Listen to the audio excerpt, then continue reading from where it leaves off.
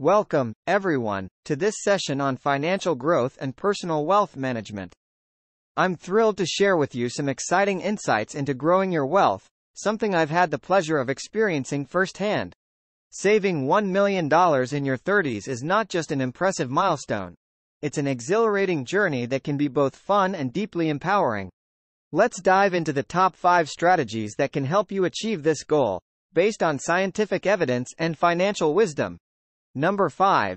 Automated savings. Automated savings, it's a game changer. It's like having a personal financial assistant quietly working in the background, ensuring that your future self will thank you. Now, let's talk about why this is so powerful.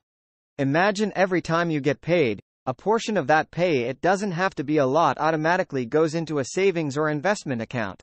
You don't see it, you don't touch it, it's just gone from your checking account into a place where it starts working for you. This is the out of sight, out of mind principle in action, and it's grounded in solid behavioral economics. You see, every single one of us is wired with certain behavioral tendencies. We're more likely to spend money that's easy to access. That's just human nature. But when we automate our savings, we're leveraging our human nature for our benefit. We're designing our environment to help us achieve our financial goals. It's like creating a path of least resistance to wealth accumulation. Now, there was this study at the University of Pennsylvania, and they found that people who set up automatic transfers to their savings accounts saved at a much higher rate than those who didn't. This isn't surprising when you think about it, but it's powerful evidence of the effectiveness of this simple tool. But here's where it gets interesting. When you start automating your savings, you're not just putting money aside. You're actually training yourself to live on a little less. And most people don't even feel the pinch. Over time, as your income grows, you can increase the amount that you're saving automatically. This is what we call paying yourself first, and it's a fundamental principle of personal finance. And let's not forget the compounding effect. When you start young, the money you save has more time to grow through interest and investment returns. It's like planting a tree. At first, it's just a small sapling, but give it time, and it becomes a sturdy oak, providing shade and shelter. Your small, automated savings can grow in the same way, becoming a significant source of wealth. What's really fascinating is that once you set this up, it takes almost no effort to keep it going. The technology does the work for you.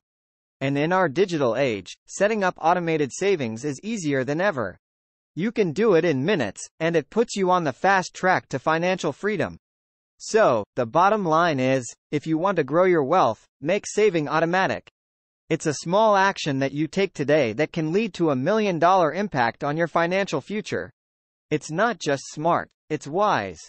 And it's something that everyone can do, starting right now.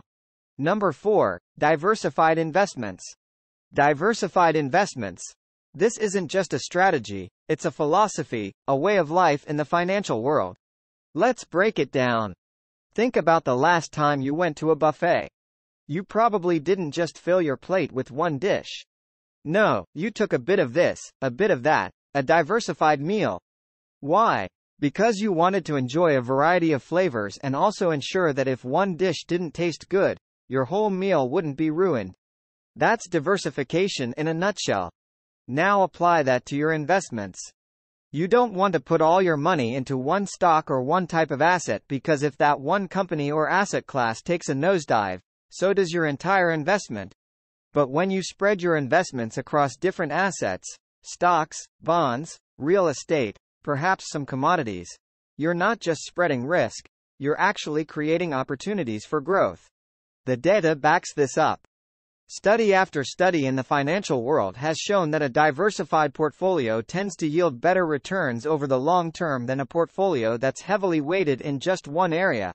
It's the difference between putting all your eggs in one basket and spreading them out across several baskets. But here's the key, you need to diversify intelligently. It's not just about having a lot of different investments. It's about having the right mix that works together. It's like an orchestra. Each instrument plays a different part, but when they come together under the guidance of a skilled conductor, they create something beautiful. Your diversified portfolio, under the guidance of a smart investment strategy, can do the same for your wealth. And let's not forget, diversification isn't a one-time thing. It's a dynamic process. The market changes, economies change, your personal goals change. So, your investment strategy needs to be flexible, able to adapt to a changing world. It's a bit like sailing. You set out with a plan, but you adjust your sails as the wind changes, always keeping your destination in sight. To sum it up, diversified investments are your ticket to a more stable and potentially more profitable financial future. It's about balance, about spreading your risk, and about giving yourself the best possible chance to see your wealth grow over time. That's strategy number four, and it's a powerful one. Number three is high-yield savings accounts and certificates of deposit. High-yield savings accounts and certificates of deposit, or CDs. These are often overlooked, but they're the bedrock of a solid financial foundation. Let's talk about why they're so crucial. High-yield savings accounts are like the unsung heroes of the banking world. They're not flashy, but they work tirelessly behind the scenes, earning you a higher interest rate than your average savings account. It's not about quick wins, it's about steady, reliable growth. Certificates of deposit, on the other hand, are like a pact with your future self.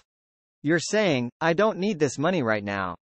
I'm willing to set it aside for a set period, and in return, you get a fixed interest rate that's typically higher than both regular savings and high-yield savings accounts.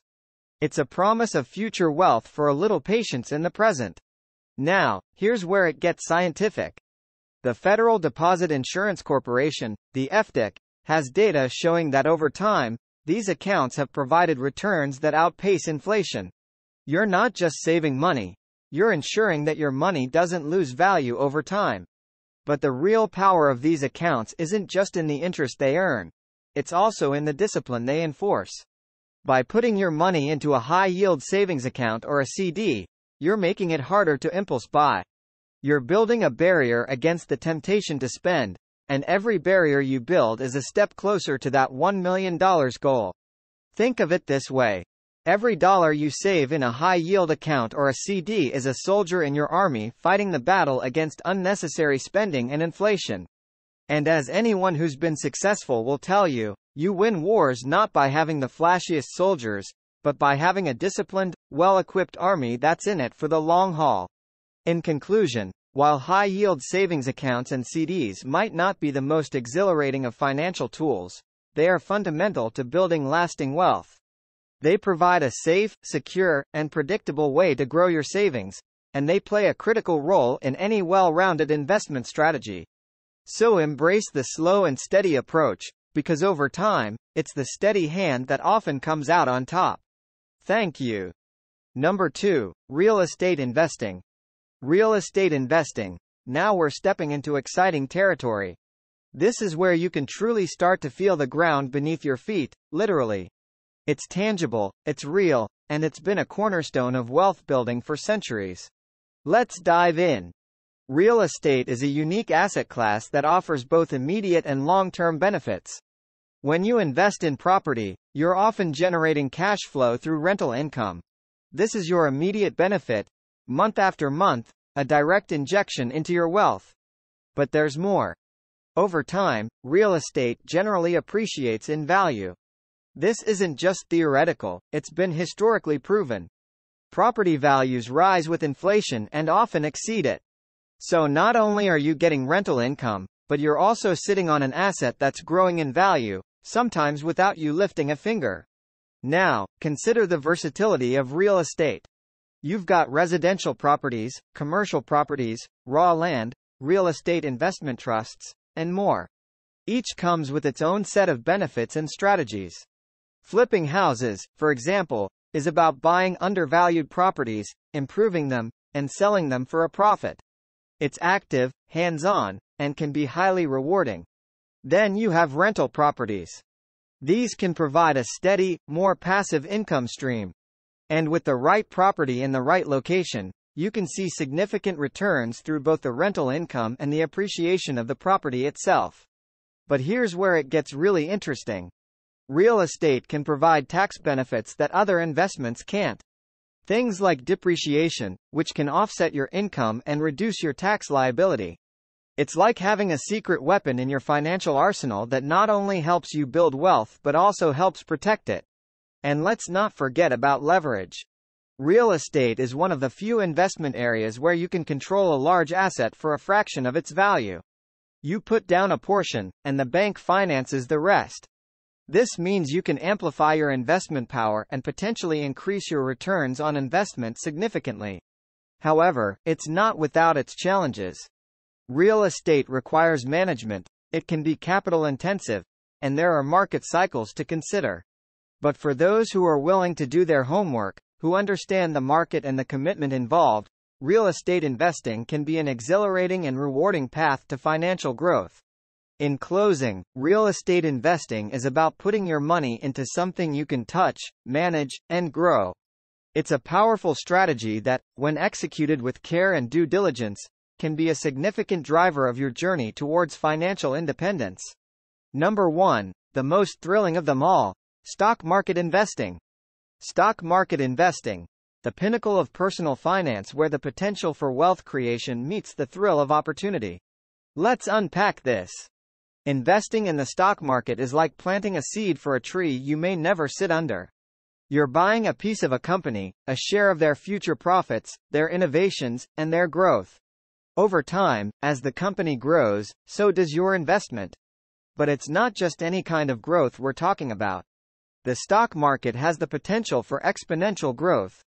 Historically, the market has returned about 7% to 10% annually after inflation.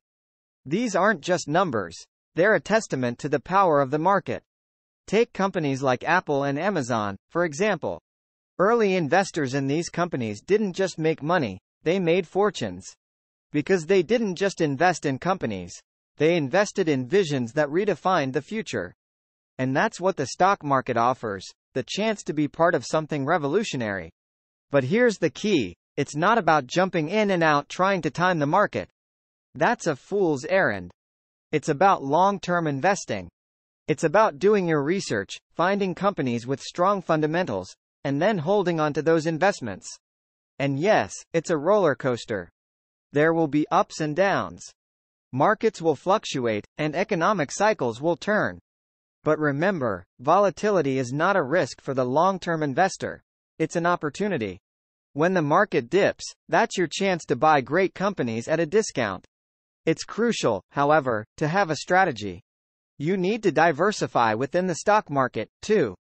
Don't put all your hopes into one stock. Spread it out. Invest in different sectors, different companies, maybe even different countries. And let's talk about the strategy of dollar cost averaging. This is where you invest a fixed amount of money regularly, regardless of the stock price. Over time, this can average out the cost of your investments and can help reduce the impact of volatility. In conclusion, investing in the stock market is not for the faint-hearted. It requires courage, conviction, and the ability to stay the course. But for those who are willing to learn, to invest wisely, and to hold on to their investments, the stock market can be the most exhilarating ride to financial success and the number one strategy in your journey to personal wealth. Remember, it's not just about saving a million dollars. It's about creating a million dollar lifestyle for decades to come. Thank you, and here's to your success as an investor in the stock market. Conclusion. Saving $1 million by your 30s is an ambitious but entirely achievable goal. It requires discipline, a willingness to learn, and the courage to take calculated risks. By automating your savings, diversifying your investments, taking advantage of high-yield options, investing in real estate, and playing the stock market game, you're not just saving money, you're setting the stage for a fun and financially rewarding future. Remember, the journey to $1 million is as much about the mindset as it is about the mechanics. Embrace the process, enjoy the ride, and watch as your financial goals transform from dreams into reality. Thank you for joining me today, and here's to your future as a millionaire.